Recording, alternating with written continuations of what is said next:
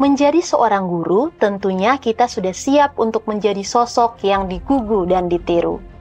Perkataan kita haruslah bisa dipercaya, dan sikap kita harus bisa menjadi teladan.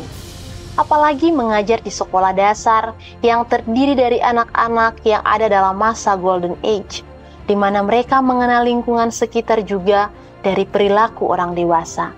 Masa-masa di mana mereka suka sekali meniru.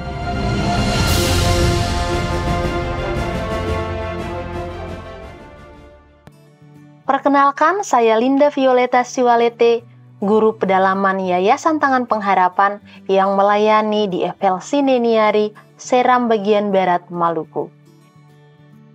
Ini adalah tahun keempat saya bekerja sebagai seorang guru pedalaman. Saya selalu memikirkan strategi apa yang tepat untuk digunakan saat berdiri di hadapan anak-anak yang saya ajarkan untuk mengajari mereka ilmu pengetahuan seperti membaca, menulis, dan berhitung, juga pengetahuan lainnya itu tidak terlalu sulit. Ribuan metode kreatif bisa saya peroleh dengan mudah di internet. Tetapi bagi saya yang paling sulit adalah menemukan strategi yang tepat untuk menanamkan nilai-nilai karakter. Saya perhatikan anak-anak lebih cepat menangkap pelajaran mengenal aksara daripada mempraktekkan pelajaran tentang sopan santun dalam berbicara. Anak-anak lebih cepat mengerti tentang konsep perkalian, tetapi lambat untuk mengerti bahwa jika mengganggu teman, mereka harus minta maaf dan menyadari kesalahan. Hampir semua keributan yang terjadi di dalam kelas adalah karena satu dengan yang lainnya saling mengganggu. Awalnya anak-anak sulit sekali menyadari bahwa yang mereka lakukan itu salah dan juga sulit untuk meminta maaf.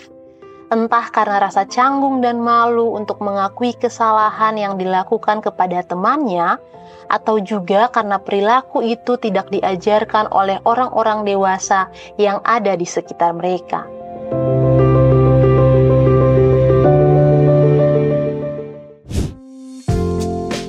Tetapi sebagai guru yang berupaya untuk mengarahkan anak-anak ini memiliki karakter yang baik, maka saya berusaha untuk selalu konsisten dalam mengajari mereka tentang mengakui kesalahan dan meminta maaf, karena itu adalah bagian dari sikap rendah hati.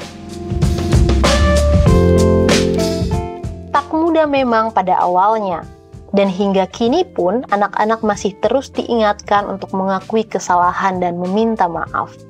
Ketika saya mengingatkan anak-anak tentang hal itu, saya pun sedang mengingatkan diri sendiri untuk bisa melakukan hal yang sama. Mengingatkan diri sendiri untuk tidak merasa lebih hebat dari orang lain, untuk tetap haus belajar dalam mengembangkan diri dan menekan ego untuk bisa mengakui kesalahan.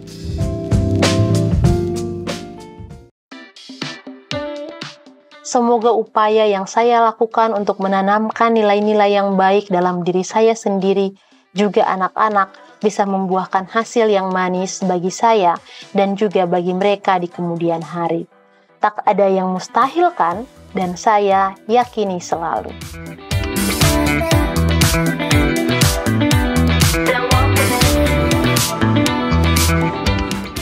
Terima kasih kepada para donatur yang telah setia mendukung Feeding and Learning Center yang ada di FLC Neniari, Seram bagian barat, Maluku. Seperti hujan yang menyiram tanah kering. Berbagi adalah cara kita memberikan kehangatan dan keceriaan kepada anak-anak di pedalaman Indonesia. Helping people live a better life.